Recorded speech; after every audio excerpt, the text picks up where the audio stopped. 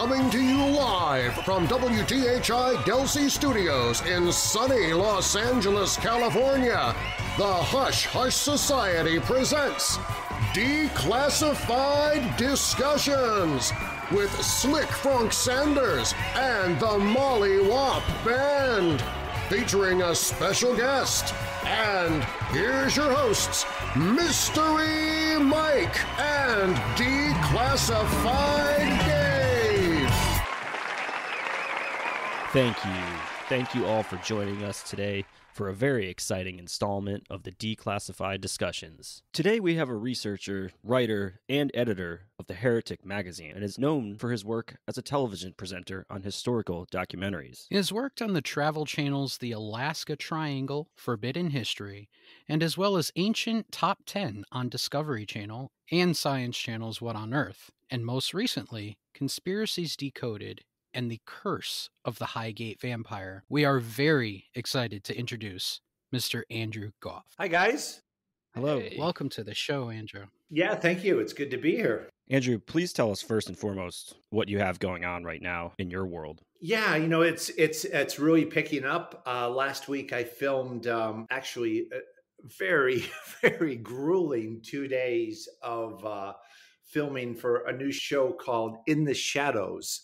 Really detailed look on secret societies, not just this thirty thousand foot glossy kind of Freemasons are bad sort of thing. It goes into minute detail on all sorts of unusual elements of secret society. So, so that's kind of cool. I have another, uh, actually, uh, a paranormal focused documentary on alien abductees, and my contribution to that is to talk about. Uh, portals Ooh. so uh, that's coming up next week and uh, yeah so it's it, it's all quite busy now which is nice That's awesome. Very interesting. You mentioned portals and aliens, and that kind of draws back to something that we've talked about with many of our guests, actually, and talked about with cryptids and UAPs in general. Do you think, you know, based off of what you've done with the show so far, do you think that UAPs or maybe even cryptids, do you think that they are using portals in many different places, or is that their main way of travel? Is that how they're they're breaking time and space? Yeah, I mean, it, it's such an inter- interesting question. Uh, another uh, Discovery Channel documentary is all about kind of these portal places. That's coming up in the next uh, few weeks. And, you know, she have Skinwalker Ranch, right? Oh yeah. I think it's really interesting. One of the things that I did, gosh, a couple years ago, and we're just just finishing now, is I had this idea for uh, a show called Mystic Britain. And everyone said, no, that's a horrible idea. You don't understand. Nobody in the US is going to care about mysteries in the UK. No, Andy, that's not how it works. Oh, okay, fine. I went to everybody. And now Smithsonian comes out with Mysterious Britain. Really? Hmm. but what the pilot for that was the werewolves of Cannock Chase. And Cannock Chase is like this big nature reserve in the English Midlands, south of Birmingham. And yeah, there's lots, lots of interesting things about werewolves. And I interviewed so many people. I would stand in the middle of the heath and people would walk by and I would say, Excuse me, I'm just wondering, have, have you ever had? I know what you're going to ask me. You're going to ask me about werewolves. I'm like, Well, no, have you had any interesting experiences living around here? And they, they'd all be like, No, no, of course.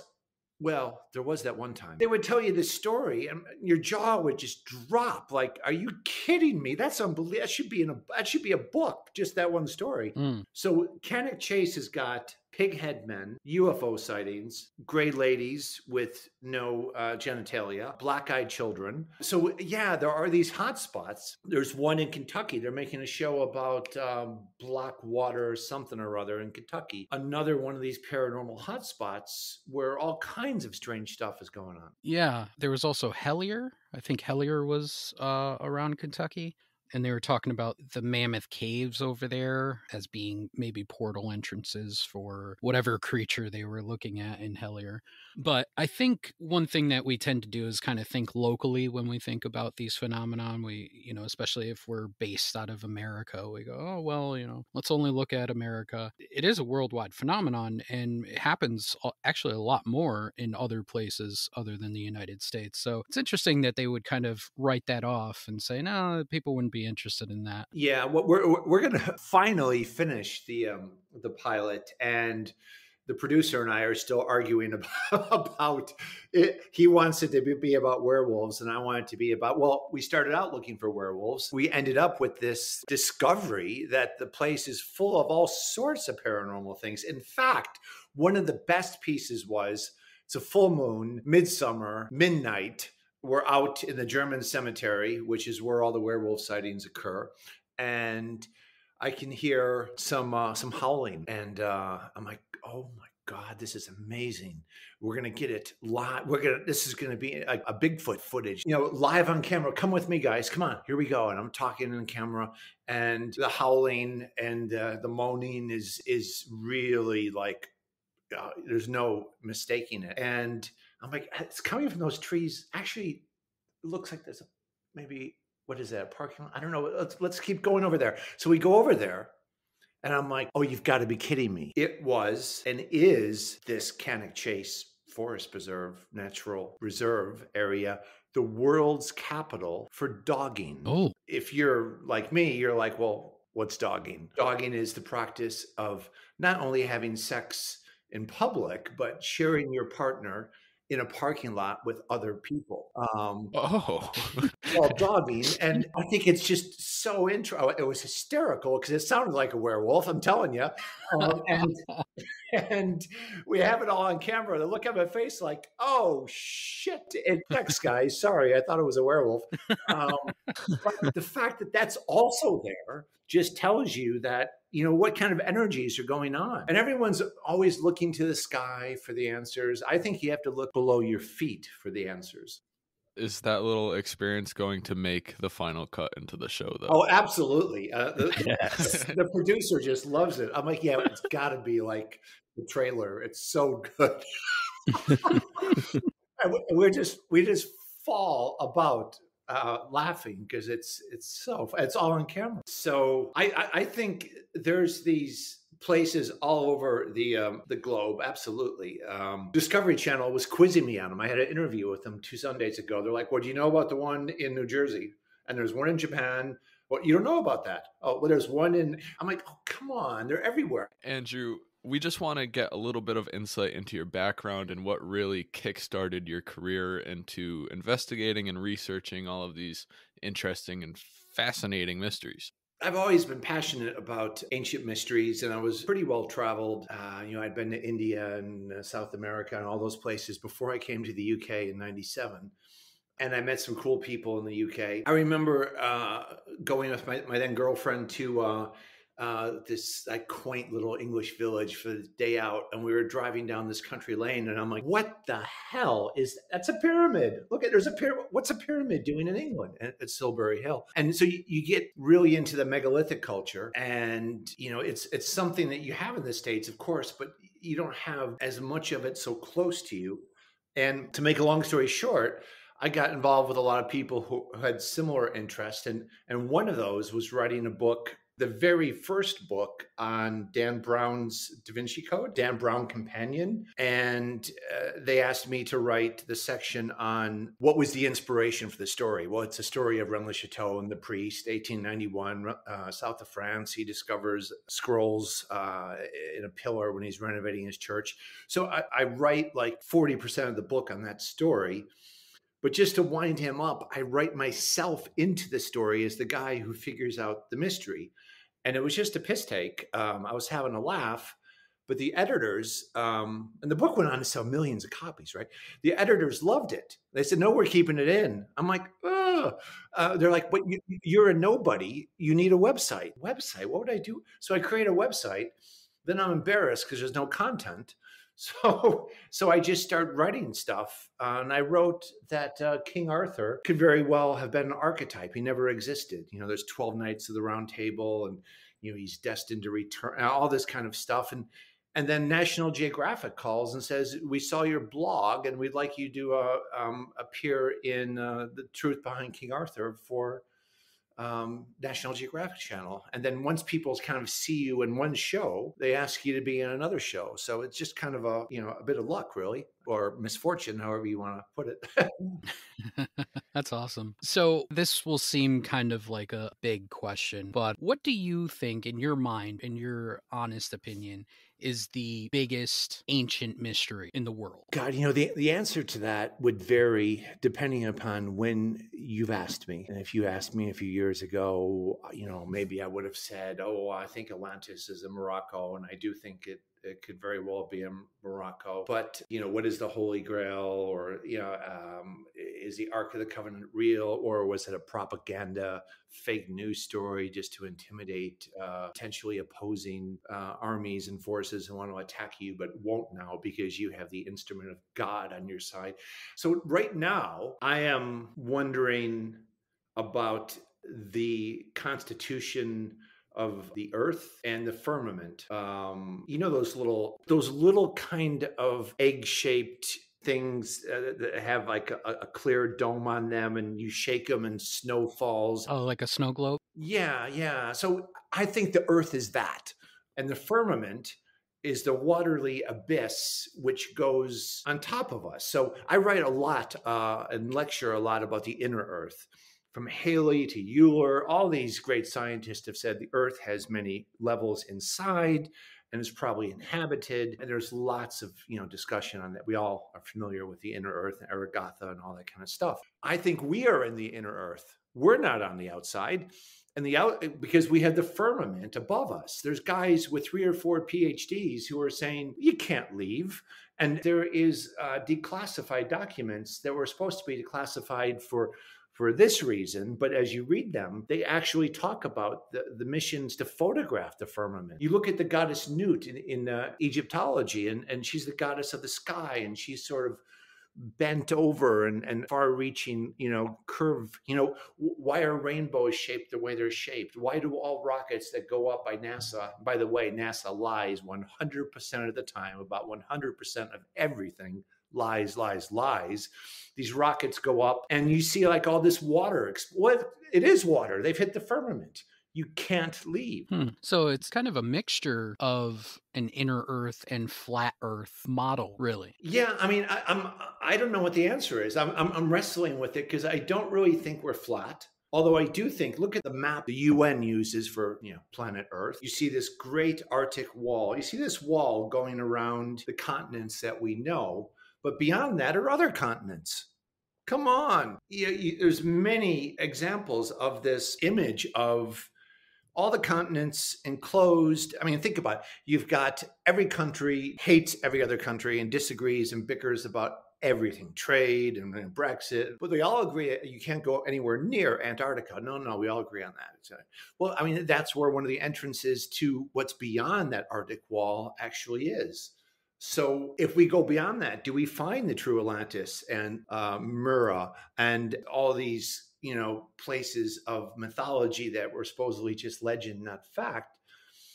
I think, and, and then you've got this whole Tartarian empire thing going on, which is so interesting. And this notion that what we think are mountains were really trees. And you, you begin to wonder with that shape of a, what did you call it? The thing you shake and the snow. Oh, the snow globe. Yep. Snow globe. Are we living in a, uh, a greenhouse? Are we living in, you know, a greenhouse? And we don't know it. That's interesting. Never thought about that of us being in the inner part of the proposed inner Earth. Charles Teed, uh, I think it was Charles, definitely Teed. I think it's Charles Teed. You know, proposed um, that we're we're not on the outside. And I've spoken to some people. I mean, some really um, connected people uh, who told me Notre Dame was going to burn. For instance, you know, you're connected when you know Notre Dame is going to burn, and they agree. No, we're not on the outside. We're on the inside. So that begs the the question. Well, we, you know, we've seen all the images from NASA, and you know, uh, the Earth is round, and I'm not saying it isn't round. Uh, I'm not saying it's flat. I think there's multiple levels on the inside, and I think that maybe where our continents are on this globe might be flat-ish because the globe is that big, but beyond that Arctic wall, there's other continents. Again, listeners should look at the uh, the logo for the United Nations and, and and their map it clearly shows that. And many other places show that as well. I'm presenting at the Chariots of uh, the Gods conference in the UK this June with uh, Erich von Däniken and Giorgio. Um, That's going to be awesome. And they won't let me talk about uh, the inner Earth. Really? Why is that? Oh, come on. I mean, just challenging everything that's ever been on Ancient Alien. Because it's covered too much. Mm. Um, it, will be live streamed on, on Gaia. Um, so I've been thinking about talking about the firmament. Uh, and they're like, no, no, no, we don't want you, you, to embarrass yourself by talking about the flat Earth. I'm like, come on. So I don't know what to think uh, about that. I, I'm, I'm trying to get my colleague, who I'm doing a archaeological excavation with for Knights Templar relics here in England to uh, to let me talk about that. But um, that's only because I'm I'm really enthusiastic about it. But I'm sure he'll convince me it's it's not a it's not a good idea. At least not until um, the next uh, excavation, which is um, it looks like April. So, in your opinion, NASA total sham, no moon landings, no real space program. The big question is, though, what would change on our planet if we found out if the Earth was flat or hollow? What What do you think would change? Well, I, I just can't believe NASA's gotten away with it. Um, I mean, it's ridiculous. Why do the astronauts have stars on the Hollywood Walk of Fame in Los Angeles? I don't know. Ask Stanley Kubrick; he'll tell you. Um, he filmed the whole thing. So you go you go to the moon in '69 and you, you never go back.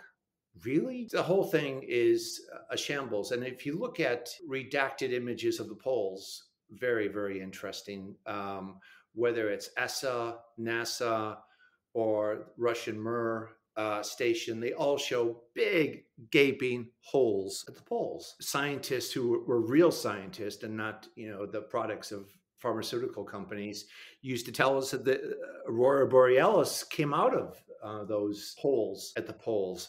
Why does the image that NASA shows us of Saturn show that it just looks like another planet, except for the pole has a hexagon on it? Um, something about the poles they're hiding from us, and I think that's one of the places. And you know, Byrd talks about it in his diary, uh, the Smoky God book, the Norwegian sailors who get lost and end up in the inner Earth. Yeah, everyone talks about the fact that it's a really gradual transition. You're in a plane, you're in the Arctic. Oh, what? Why is there a green valley below? Why is there a mammoth down there? You know, then before you know it, you, see a crystalline city and you know there you go. So what would change is the realization that Earth is 4.5 billion years old. We're not its first civilized inhabitants, and we're probably not anywhere near as sophisticated as those who have come before us. That's an interesting take on it, for sure. We've done episodes on almost every one of these subjects. yeah, Hollow Earth was a good one for us. We really enjoyed doing that one. Yeah. And I think we all kind of came to the conclusion that it's a viable thought process. It's possible very possible to have an inner earth and at least have some sort of uh, void underneath the mantle of what we stand upon. Yeah, I, you know, I did a, a What on Earth episode on the, the Russian Kola borehole. And it goes down 20, 20 miles or kilometers, I forget. It's, mm-hmm. it's a long ways into the earth. And they find fossils fossils. And in 2014, it was discovered there's more bodies of water in terms of oceans beneath uh, the Earth's crust than there is above it. And then you get into the whole you know i know it's it's you're just walking into a wave of ridicule when you talk about this but we're spinning at what a thousand miles an hour and the earth is moving.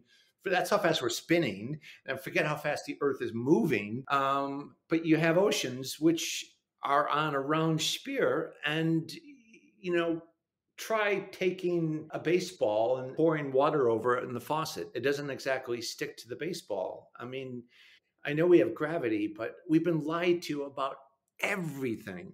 Everything. Uh, there's been multiple resets, uh, you know, to hide the lies.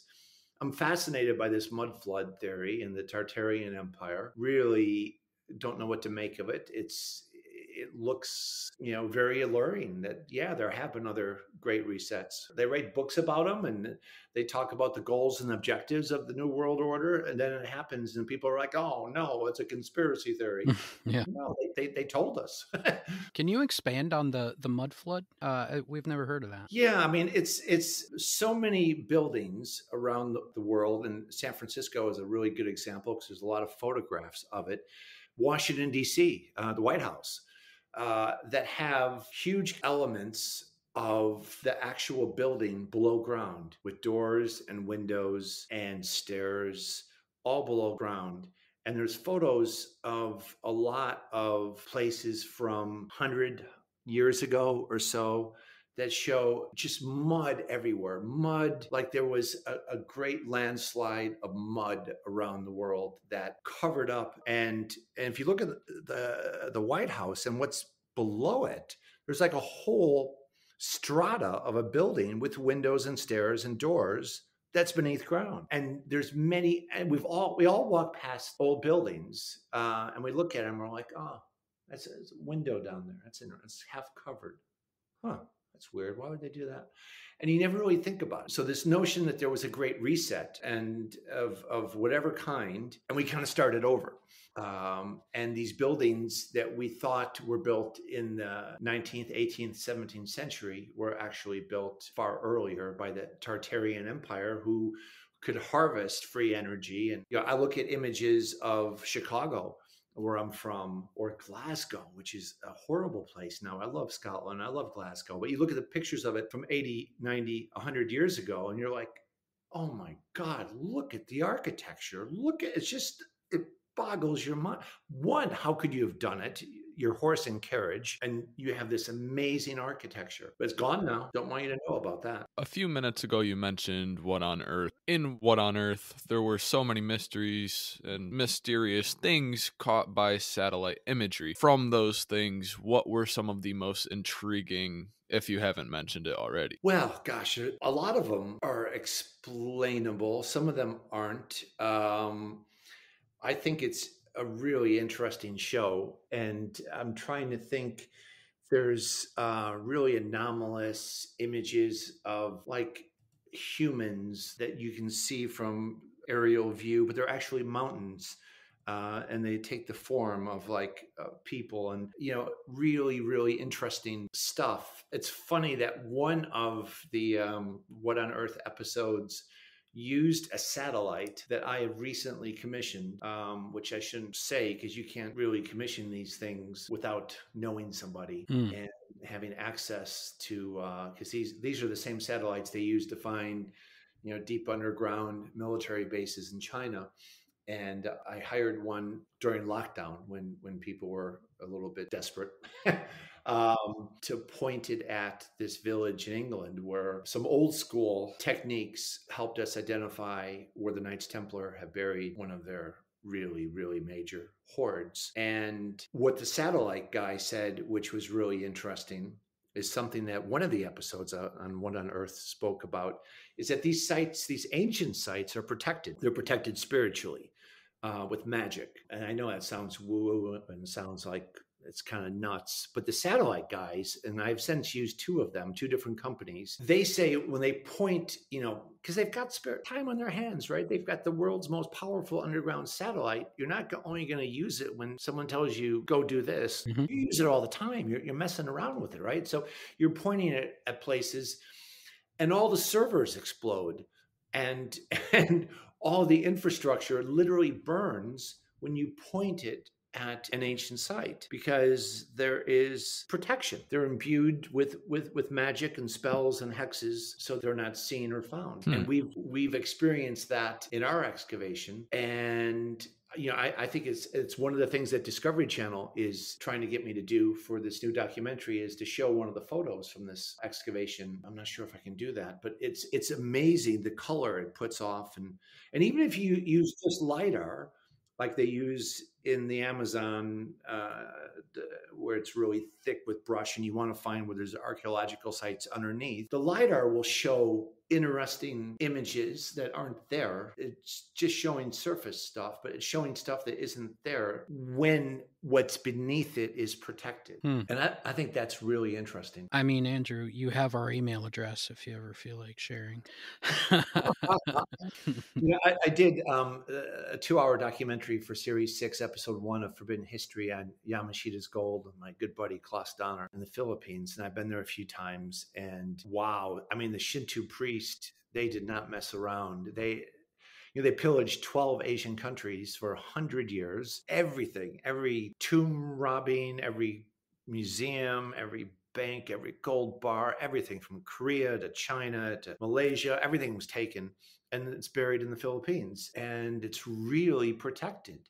I mean, the Shinto priests were, you know, they're they're kind of um, on the leading edge of, for lack of a better term, magic and, and protection. And the stories that the Klauses shared, unbelievable. You know, workers have to quit working.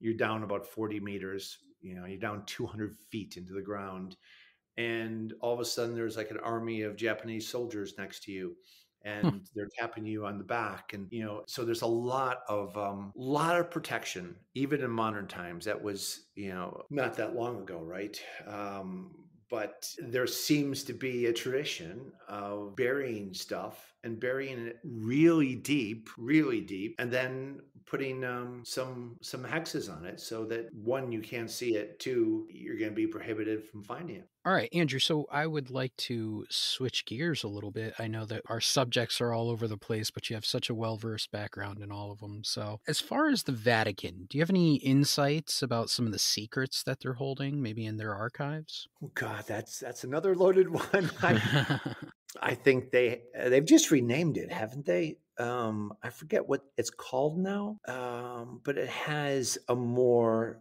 academic name, but they still don't let you down there. I've done a, a, a, number of shows in in Rome, and we thought we would have permission, but they always block us at the eleventh hour. So I, you know, I think um, if you look at the whistleblower, was it 2001 or something, priest who came forward saying that uh, you know the Vatican has things like the Chronovisor, which uh, is an ancient device. They didn't know what it was, and they they got literally got rocket scientists and some other people to come and figure out that it was a uh, not a time travel device, but you could look at any period in history like you're you're watching a a video and and and and see what's you know what what happened. Mm-hmm. um, so I, am I'm, I'm sure they've got loads and loads of amazing things. And does that include the ark of the covenant? You know I, i've argued and, and written because and i lived in istanbul for a few years and still have a home there that the ark of the covenant uh, is uh, hidden in plain sight in the Topkapi Palace in the Privy Chamber in, in Istanbul. But yeah, the Vatican uh, undoubtedly has that and ama- amazing documents. I think they're going to have amazing documents that would turn um, theology on its head mm. if they were out. Yeah, because it's all you know. It, we've just been fed lie after lie after lie after lie. If it's a big enough lie about the miracles and the wine and and the resurrection, the, the lie is big enough, i.e., COVID, then people are going to believe it. Big lie, say it often, and it becomes fact. And that's NASA and that's the Vatican. The big liars. Yeah. Big liars. I, I, I, see those NASA shirts, and I'm a big New Order fan. I just saw New Order in concert again in, in London a couple months ago. And like the drummer has got this NASA shirt on. I'm like, it's a cool shirt, but I want a shirt that says NASA lies. That's what I want. oh, you should check out our merchandise. Yeah, we might be able to make that happen. oh, cool. One thing that's always fascinated the three of us, the talk of Nephilim or giants. Do you think these beings were real? We're also being lied to about their existence, if they're still around or not. It's mentioned in texts that they're, you know, the offsprings of angels or some type of entity that came from the sky. Yeah, I I, I, totally believe in their existence. And if you look at the proper Hebrew translation, uh, it says to the effect of in those days there were giants in the earth, mm. um, which is so interesting because all the uh, so many of the accounts of the inner earth describe extremely tall individuals with you know extremely gravity defying devices. Yeah, I, I think we're looking up when we should be looking down. The answers to so many of the questions about UFOs and portals aren't in the sky, they're below our feet. And so, yeah, I, I think they exist today. Uh, you don't have to look back too far. There's photographs. Um, you know, a good a good show would be Smithsonian lies. What is what is the Smithsonian uh, brushed under the carpet. You know, Egyptian artifacts from the Grand Canyon, perhaps, or, you know, giants, uh, all sorts of stuff. I, I did a show for Forbidden History on the giants of Sardinia, and there's farmers there, and I've met them who are honest, ordinary folks who, who live in. Um, they don't long for things they don't have. They're happy with their their lovely little farm, and they're not lying when they say they unearthed these great big um, giants, and they called the police, and the archaeologists came and took them away and assured them that they would get, you know, remunerated in one form or another. But then nothing. And, and then you toss onto that all these clearly photoshopped images of giants, and it becomes like flat Earth. It becomes an area that, uh, if you want your reputation intact, then then you better not talk about giants. We'll have to dive into that very soon. Yeah, we've been putting it off. I forgot what show it was on, but there was an account of some soldiers within the last five years that supposedly got into a firefight with a giant. Yeah, in Afghanistan. Yeah, absolutely. And supposedly that's happened again just recently, uh, in recent weeks. Really? Um, wow. And the, the, the, soldiers, American soldiers, have uh, PTSD, uh, understandably, from you know having to to deal with them. It's really really weird, and I don't know why my brain is is going here, but um, one of the things I think is also really odd is with all the detail in the Old Testament and all the stories about the Holy Family's trip to Cairo and uh, wars between pharaohs in Egypt. Why is there no mention of the pyramids? There's no mention of a single pyramid, all of which existed um, in biblical times. So as a cover up, I can't. I can't even think of an answer to that because you know and again old testament talks about moses going in Mount Sinai. My good buddy uh, Ralph Ellis argues that Mount Sinai is Khufu Pyramid of Giza, but there's lots of pyramids and they were all there. And in that day in particular, wouldn't that have just blown your mind? But there's no mention of them. Andrew, some of our hushlings, I'm sure, don't get the Yesterday channel that is broadcasted in the UK, where World War Weird was released. Now, can you tell us a little bit about some of the things that were discussed about World War II and World War One in that program? Yeah, I've done a whole bunch of stuff on um, World War II in particular, and not only in World War War Weird. I can't even say it. You know, the funny thing is when you film these things, um, the worst was World War Weird and Alaska Triangle because they both have you. Um, World War Weird has you in the crypt of a church, absolutely freezing. And Alaska Triangle, they must want you to feel like you're in Alaska because you're in the basement of a factory in Cardiff, Wales, with everyone around you's got six parkas on and heaters all around them, and you have to sit there in a shirt. I caught like the worst. I never get sick. I, I was sick for months after series one of Alaska Triangle. Uh, but yeah, so I, I think it all comes back to um, a lot of the stories about the Nazis' obsession with their perceived Aryan heritage going back hundreds of thousands of years and their quest to to retrieve and leverage these power objects from the Spear of Destiny to the Bell to uh, the Holy Grail, and their you know their premier Grail hunter, who I think was uh, is the prototype for Indiana Jones, uh, is Otto Rahn, who allegedly committed suicide on a ski slope. Really, hmm. but yeah, he he had free reign, and and he was uh, he could have gone anywhere to look for anything. And he went to the south of France in the Pyrenees and uh, was looking for the Holy Grail and um, wasn't going to leave until he found it. And by all accounts, he found it. So whether that's hidden underneath uh, the floors of Wewelsburg or the Vatican is tough to say, but there's so much that's been buried. It's fascinating. We need to unearth this stuff. But, but, but really, the Nazi stuff. The Nazi stuff is what invariance on uh, the interplay between Himmler and Hitler, of course, but but others had in terms of who was the biggest occultist. There were many of them. In your opinion, how close do you think the Nazis were to the U.S. mainland in terms of a possible invasion during the war? Oh gosh, I think. Um, it's a complicated uh, question and, and answer. I, you know, eh, they always said uh, the greatest feat of Lucifer was was making people think the devil wasn't real, mm-hmm. uh, and maybe the greatest feat of uh, World War II was making people think that the Nazis didn't win. Um, you know, the Fourth Reich, you could argue, is the European Union. Merkel some have argued, is Hitler's daughter. And, you, you know, we, Operation Paperclip, uh, you know, the US just took all of those German scientists like it was just a normal thing to do. So, yeah, you know, did did Hitler survive? Did he go to Argentina? Did he go to the Arctic and into the inner Earth? I mean, they, they've left maps for U boats to go uh, navigate to the inner Earth. There's letters all about it. Inner Earth is going to hold the secrets that that really blow our mind. Not outer space; it's the inner Earth. And if you look at um, uh, people who have written the big books about it, have, have always had an initiate who has been there telling them things. And if you believe those things, they say the whole globe is like a checkerboard filled with these chambers from antiquity of going back hundreds of thousands of years of arts and sciences and technology that is preserved there for when we need it.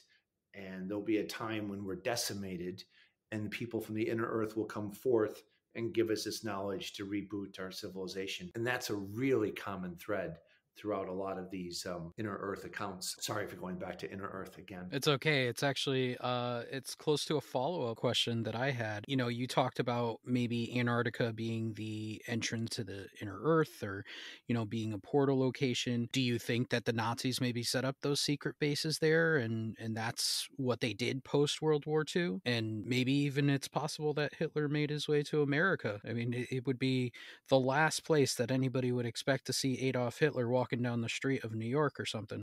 uh, obviously, sans mustache. But you know, what do you think about the the possibility of these Nazi bases in Antarctica and and the Nazis' obsession with Antarctica? Well, I, I think where, where there's smoke, there's fire, and and and they if they found these places and stayed, I mean, the key is they found them. They, they've been there for a very, very long time.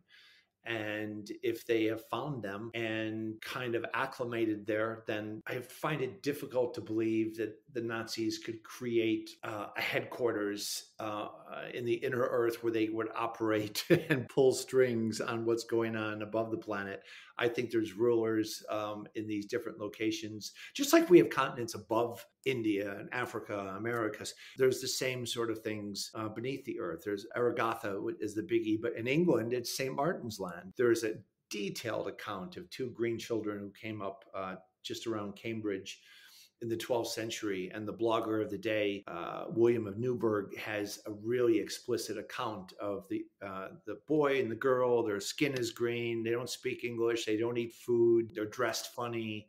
The boy dies from malnutrition. The girl learns English eventually and recounts the story of St. Martin's Land, where the sun is always like dusk and dawn, but beyond there's another sun where it's is more brightly shining on another continent uh, under the earth. So yeah, I, I I think the Nazis couldn't have established you know sort of their own Munich under the ground, they would have had to have uh, acquiesced to those who were already there, I think. Although Bert Byrd in his diary, if we can believe his diary, talks about, oh, yeah, there's the green pasture. Oh, there's the mammoth you know he's flying uh, now five hours into his flight from antarctica. And all of a sudden he sees planes with swastikas on them who have uh, somehow taken over the controls of his plane guiding him to the ground. Yeah. Be a scary thought to think that the inner earth inhabitants teamed up with the nazis. But that's you know it's kind of a common thread when you're talking about hollow earth and it's what we discussed in our episode of it was there are so many different peoples throughout the world that have these ancient beliefs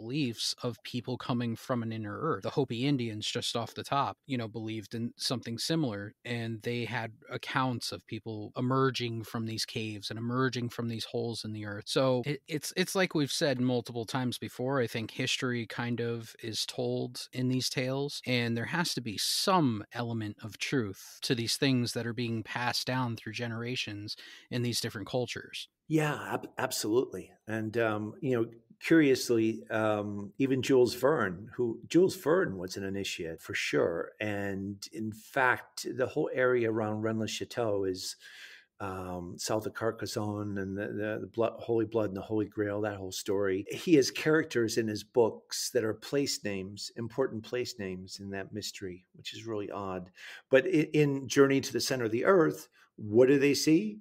A mammoth. Mm-hmm. And that's what Byrd reported as well. So yeah, real. And you know, why did John Kerry go there on, on the last day of Obama's presidency? Um, and why did Schwab Ah, yeah. and um, a, a couple others recently say they were going? They tweeted they're going to Antarctica. This will Yeah. change everything. They said. Yep. We actually mentioned that briefly uh, recently.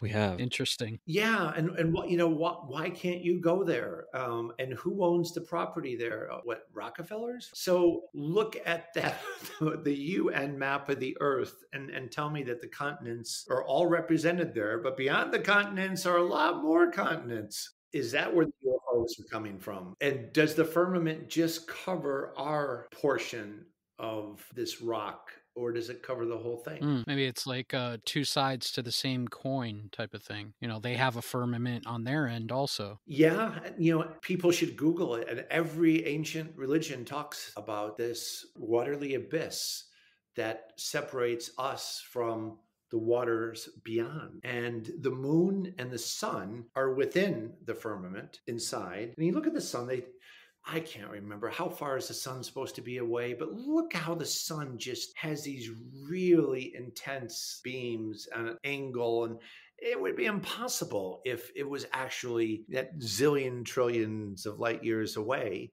but it's not impossible if it's inside our firmament. Mm. 93 million miles. 93 million miles and you, you feel it like it's going to burn your face off and it's on these really pronounced angles how does that work and again we're spinning at a thousand miles an hour really i think i think if you were to tell like a six year old okay we're spinning at a thousand miles an hour and we're going through uh, the solar system at this speed. I forget how fast that is. It's even more ridiculous. And we're round, and there's water that's glued to the planet uh, but butterflies can fly around. That's no problem. They would go, no, none of that makes sense. We should start interviewing. Butterflies? Yeah, butterflies. Tell the biggest lie you can think of as often as you can, and uh, people will believe it. They call it broadcasting for a reason. Never thought of that. It, that happens a lot when you break down a lot of these words that are, you know, thrown at us every day. It's all propaganda at the end of it all. Yeah, I mean, I, I think um, whether whether we believe we're in the age of Aquarius yet or not, I'm really intrigued about what's coming. I mean, in the age of Taurus, Earthlings worship the bull, and in the age of Aries, they worship the ram. In the age of Pisces, they worship the fish,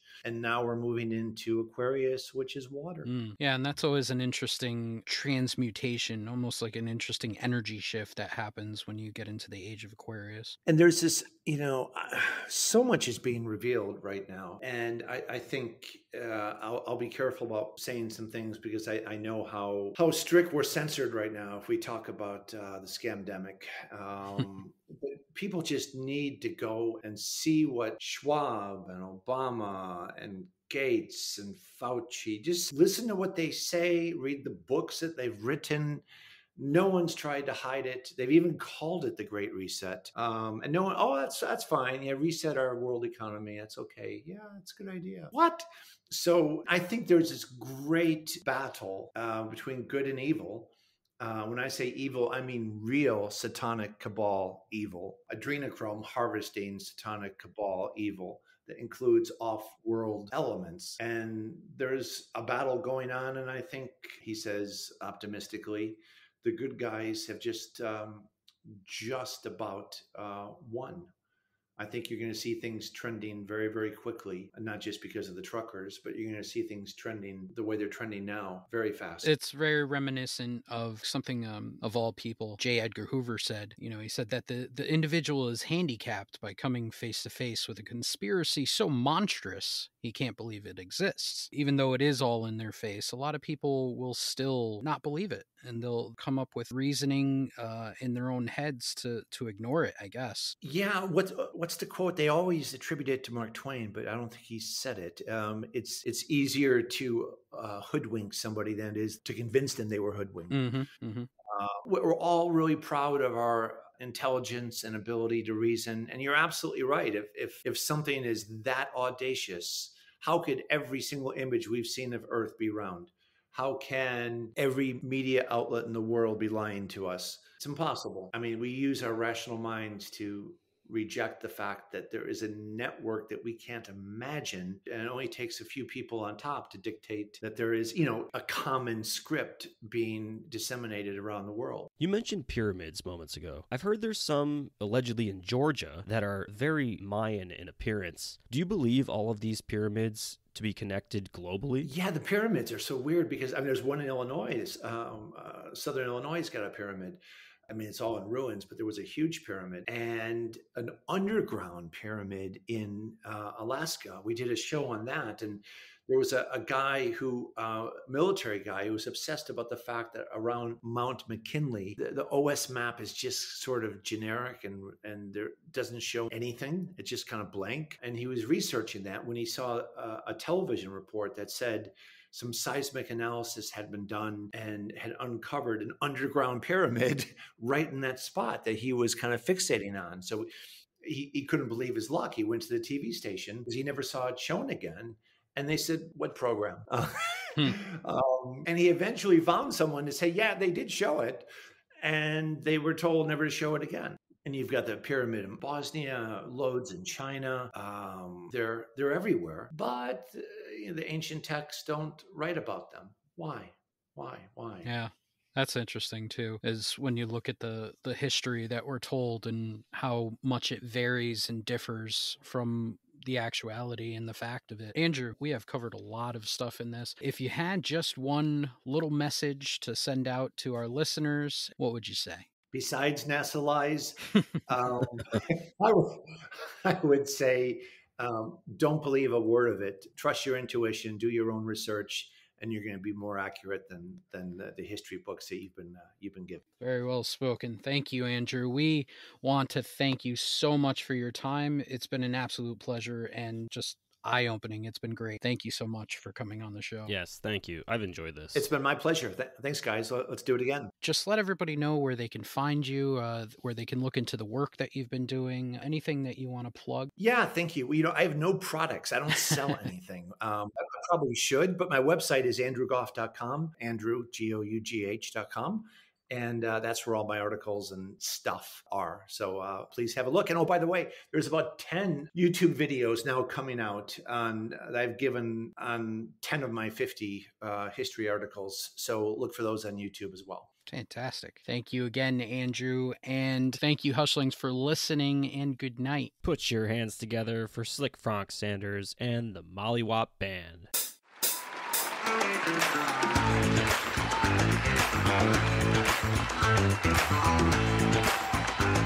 Thank